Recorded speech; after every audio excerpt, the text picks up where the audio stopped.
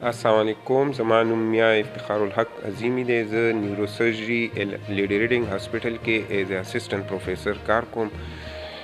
نن دا ستاسو ته مخامخ په دې دغه کې راغلی و چې څنګه تاسو ته پته ده چې دا کورونا وایرس ټول دنیا کې خور دی دغه شان په پاکستان کې هم خور شوی دی او بیا زمونږ په پیښور کې هم خور شوی دی د دې د کورونا د وجې زمونږ چې کم عام د نیوروسرجری مریضان دي چې کم ایمرجنسی نه دی عام مریضان دي او کورونا ورته نه ده هغه مریضانو ته ډیر مشکلات دي ستاسو د مشکلاتو ته مونږ وکته نو مونږ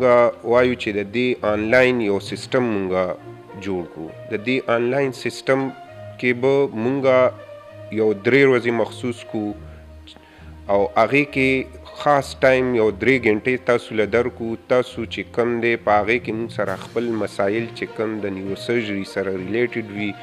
س مسایل تاسو ته وی س علاج تاسو کړی دی او س ورډ وی هغه ټول تاسو مونږ سره ډیسکس کړئ داغه یو خاص په طریقې باندې تاسو ته علاج وکړو تاسو ته دوایانې وښیو ستاسو چې کم مسایل دي د هغې تدارک وکړو نو د دې دپاره مونږ د پیر منګل او د بت دروازې ټایمینګز به یي تین نه پنج بجو پورې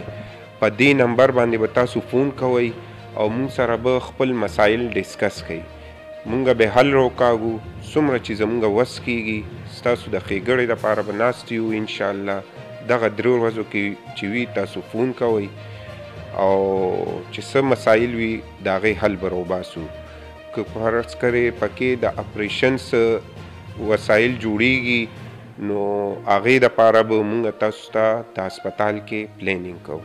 ډیره مهرباني السلام علیکم